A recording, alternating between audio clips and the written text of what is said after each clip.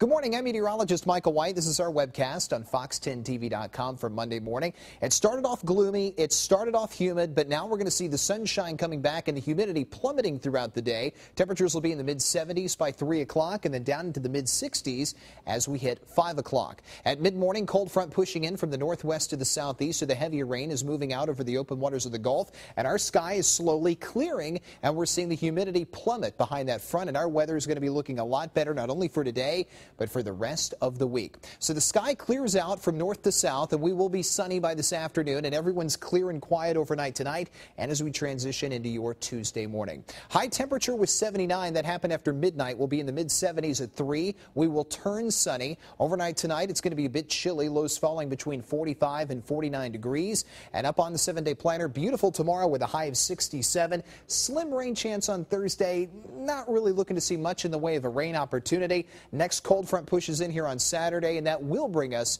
our next best chance for some rain and a few storms. That's your webcast. Thank you so much for watching right here on Fox10TV.com. I'm meteorologist Michael White, and I hope you have a great day.